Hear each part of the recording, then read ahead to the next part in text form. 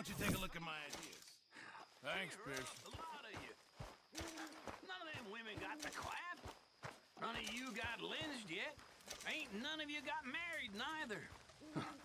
Way I see it, ain't no good in worrying about what may be. Worry about what you got and ain't got, and none of you got nothing to worry about. Just like my daddy told me. He said, son, don't worry about the future.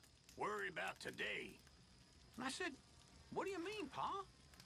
He said, well, you're gonna get a beating so hard you'll be lucky to even see tomorrow. he was right. Damn nearly killed me, but it taught me not to watch women in the outhouse and get caught.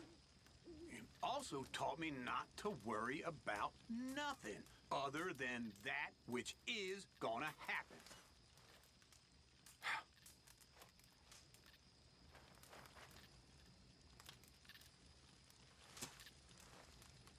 You okay?